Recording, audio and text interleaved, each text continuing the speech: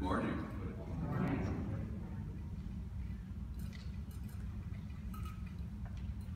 Today I'm speaking on the path of beauty. I'm taking as my scriptural source a passage from the Hebrew scriptures that says, Worship the Lord in the beauty of holiness. We say in unity that there are many paths to the mountaintop. And I think perhaps the Hindu tradition in yoga does a really good job of describing some of the different paths to that mountaintop. They talk about Jnana Yoga, which is the path for the mind or the intellect that emphasizes knowledge and wisdom. And they talk about Bhakti Yoga, which is the path for the heart that emphasizes love and compassion and devotion to God. They talk about Karma Yoga, which is the path of action that is all about selfless service and doing good unto others. Most people are probably familiar with Hatha Yoga, which is the physical path that emphasizes postures and breathing.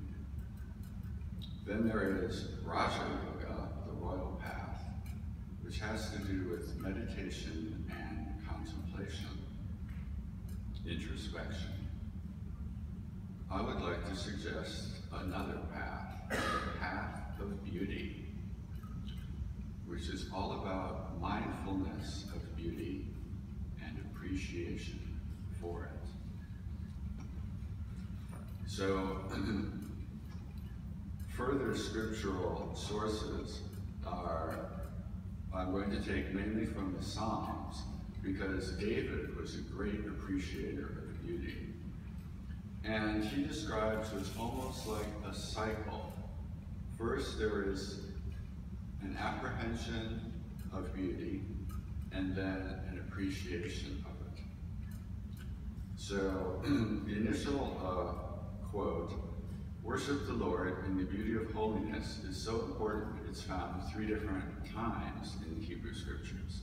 It's found in First Chronicles, and then it's found in two different places in the Psalms.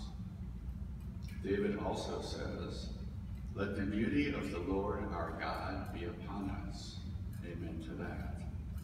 And out of Zion, the perfection of beauty, God has shined. Now, Charles Fillmore, one of the co-founders of Unity, has said that metaphysically interpreted, Zion stands for spiritual consciousness. So, out of our own spiritual consciousness, beauty and divinity shine. David also says, honor and majesty are before God, strength and beauty are in his sanctuary. And again, sanctuary doesn't have to be a church or a temple. It can also be our own consciousness. One thing have I desired of the Lord, to dwell in the house of the Lord all the days of my life, to behold the beauty of the Lord, and to inquire in his temple. And then, as appreciation for all of this beauty, David says things like, Great is the Lord, and greatly to be praised. From everlasting to everlasting, art God, and there is none else. Now, those are kind of uh, archaic King James terminology, which is what I grew up with. And some of that, um, it almost sounds like I'm praying to something outside of me, which I don't like, um, since the divine consciousness is everywhere present within and without. So sometimes I will substitute I am in those quotations in the sense of the Moses, I am that I am, or the passage that says, be still and know that I am. Myrtle Fillmore, the other Unity co-founder, like to use the phrase, the Christ I am. So if I substitute I am, I get things like, great is I am and greatly to be praised. or from everlasting to everlasting I am is God, and there is no other, which sometimes works better for me. And in Zechariah we read, How great is God's goodness, how great is God's beauty. And there we get the connection between goodness and beauty that was so important to the ancient Greeks. And so, for my next source on beauty, I'm going to go to the ancient Greeks. I'm going to go to Plato. And he's not usually thought of as a religious writer because he never explicitly mentions God or divinity. But when he talks about beauty with a capital B, or when he talks about eternal oneness, I think he's talking about God. Plato talks about a ladder of beauty that leads up to divinity, starting at the lowest level and then advancing upward to the divine presence. And this is how he describes it. This is the way, the only way he must approach, starting from individual beauties, the quest for universal beauty must find him ever mounting the heavenly ladder, stepping from rung to rung. That is, from bodily beauty to the beauty of institutions, from institutions to learning, and from learning in general to that special lore that pertains to nothing but the beautiful itself, until at last he comes to know what beauty is. So I think most of us don't have any problem appreciating beauty at the physical level, sunsets, flowers. But some people aren't so aren't so comfortable stepping up to the next rung of the ladder and saying beauty can describe things like certain things in human society, like the pursuit of justice or the way to share compassion. And he goes on to say, and even higher than that is learning. So could we say that learning is beautiful and then perhaps ignorance would be ugly? And finally he goes on, the most important type of learning is learning about beauty or divinity. What is it like to achieve that final goal, to arrive at the top of the ladder? This is how Plato describes it. Whoever has viewed all these aspects of the beautiful in due succession is at last drawing near the final revelation. The universal beauty dawns upon his inward sight. There bursts upon him that wondrous vision, which is the very soul of the beauty he has toiled so long for. It is an everlasting loveliness which neither comes nor goes which neither flowers nor fades, for it subsists of itself and by itself in eternal oneness. And if man's life is ever worth the living, it is when he has attained this vision of the very soul. Wow. So his description of that ladder is kind of basic.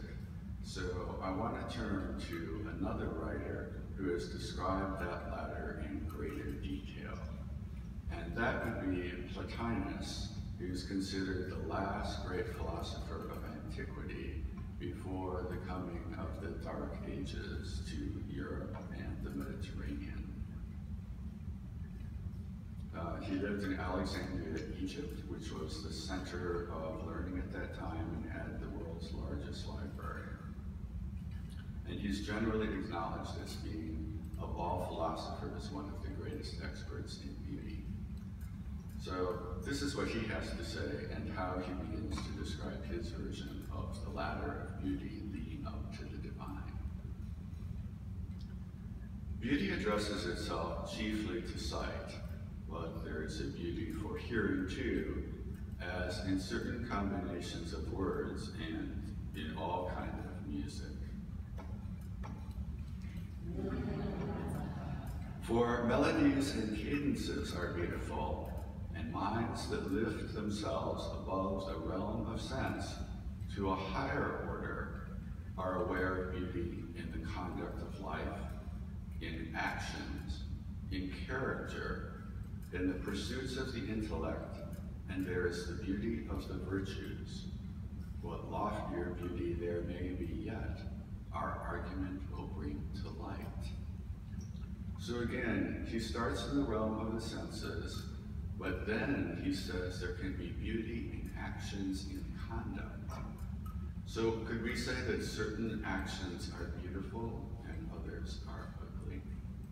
Could we say that acts of compassion and generosity would be beautiful and acts of cruelty could be considered ugly? Then he talks about beauty of character and virtues. Could we consider courage or honesty to be beautiful? And then might cowardice and deceit be ugly? He goes on to say, in describing beauty at the higher end of the ladder, Thus far the beauties of the realm of sense, but there are earlier and loftier beauties than these. In the sense-bound life, we are no longer granted to know them, but the soul, taking no help from the organs, sees and proclaims them.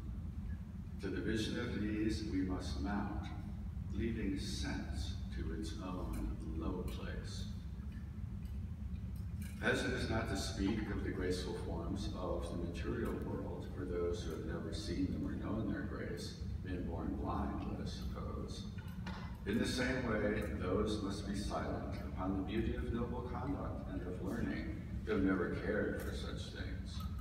Nor may those tell of the splendor of virtue who have never known the face of justice and of moral wisdom, beautiful beyond the beauty of evening and dawn. So he's suggesting that noble conduct and learning are beautiful, that justice is more beautiful than the dawn, and morality is more beautiful than the sunset. And he goes on to say, such vision is for those only who see with the soul's sight, and at the vision they will rejoice, and awe will fall upon them and a trouble deeper than all the rest could ever stir, for now they are moving in the realm of truth. There is the spirit of beauty that must induce wonderment and a delicious trouble, longing and a trembling that is all delight. So almost all the readers that talk about this sense of beauty talk about being overcome awe or wonder and I often think that maybe in today's fast-paced technological society, there's not a lot of space for awe and wonder. And I think awe can be inspirational and cleansing. A couple of years ago, Pixar, the animated movie studio, came out with a movie called Inside. Did anybody see that movie? Quite a few people. Uh, the protagonist is a young girl whose family moves and she undergoes some turbulence. But the genius of the movie is that it tries to show the inside of human consciousness and how it works. And there's a control panel and different emotions take turns running the control panel. And there's joy, sadness, fear, anger, and. And as they take over the panel, there are various results, some of which are quite humorous.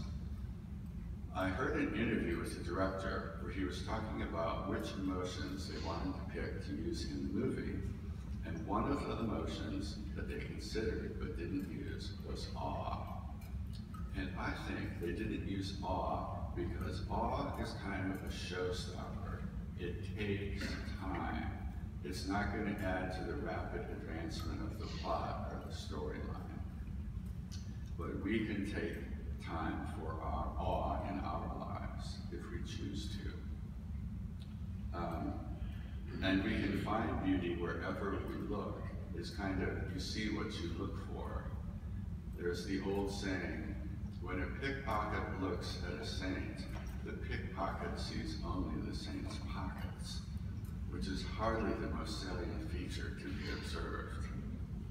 Um, another movie reference uh, decades ago, uh, there was a movie, American Beauty, and there's a character in that movie who's a young man who wants to be a cinematographer, and he takes videos of many different things where he finds beauty. And one of them is a piece of paper trash blowing. And most people might just say, oh, it's a piece of trash. But there was something about how the wind was carrying it that he found to be very beautiful and moving. So I think most people uh, can find beauty in nature and being alone in nature, flowers, uh, looking at the sky. Uh, so I wanted to uh, read a passage about beauty in nature. And this is from Eckhart Tolle. And he is like David. He has the apprehension of the beauty and then the appreciation for it. It's that same kind of cycle. So the basic idea here is that what nature can give us is stillness, and what we can give nature is appreciation. So this is how he describes it. We need nature to show us the way home. We have forgotten what rocks and flowers and animals still know, how to be, to be still, to be one with the totality of life here and now.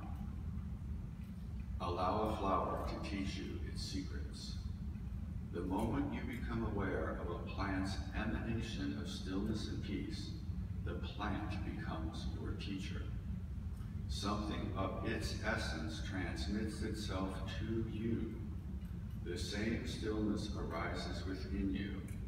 It is a harmony, a sacredness that permeates the whole of nature.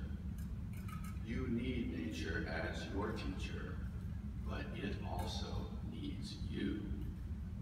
The tree, the flower, the bird, the rock are unaware of their own beauty and sacredness.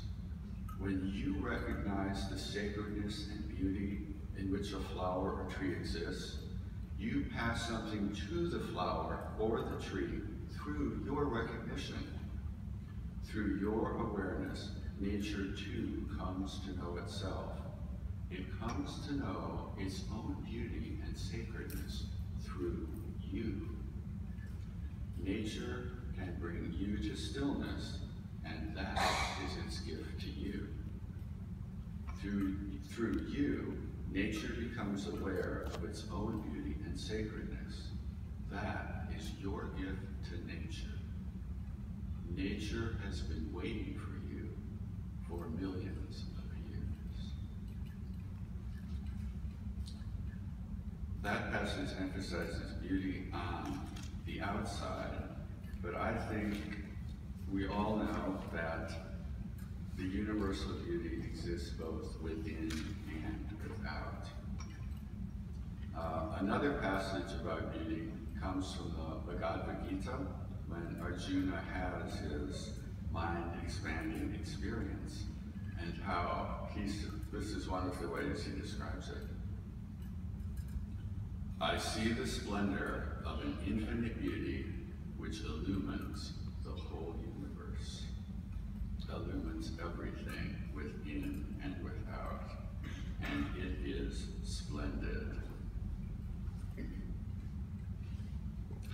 So what about the inner beauty, the ultimate source? How do we access it? And here again, I go back to Plotinus, who describes an inward path. But what must we do? How lies the path? How come to vision of the inaccessible beauty, dwelling as if in consecrated precincts, apart from the common way where all may see, even the profane. He that has the strength, let him arise and withdraw into himself. You must close the eyes and call instead another vision, which is to be walked within you, a vision, the birthright of all, which few turn to use. To attain it is for those that will take the upward path, who will set all their forces toward it.